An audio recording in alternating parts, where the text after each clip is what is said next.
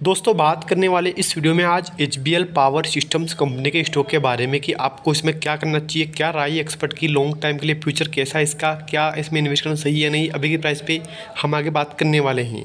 देखो दोस्तों, बात तो खास आपके लिए ये है कि इसका बहुत जल्द आपको अगस्त मंथ में क्यू वन का रिज़ल्ट देखने को मिलने वाला है। अगर दोस्तों रिज़ल्ट अच्छा आता है ना कंपनी अच्छा प्रॉफिट जनरेट किया होगा ना, अगर दोस्तों तो स्टॉक हो सकता है कि आपको आने वाले टाइम में आठ सौ का टारगेट देने वाला है। मुझे उम्मीद है कि बहुत जल्द दोस्तों आपको प्राइस देखने को मिलेगी 800 की, क्योंकि दोस्तों स्टॉक की डिमांड बढ़ रही है।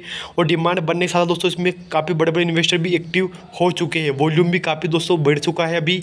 और एक बात खास है, पिछले अगर एक मंथ की बात करूँ रिटर्न मामले में सारे रिकॉर्ड पार कर दी। लगभग एक सौ के आसपास का आपको रिटर्न दिया है। पिछले एक मंथ में फाइव डे में पैंतीस चालीस रुपये के आसपास का सिक्स मंथ में आपको डेढ़ के आसपास का उछाल देखने को मिला है।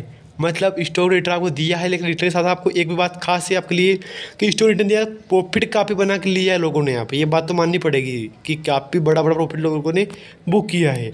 अगर मन में सवाल क्वेश्चन आ रहा है, आपके कमेंट आप कर सकते हो मुझे।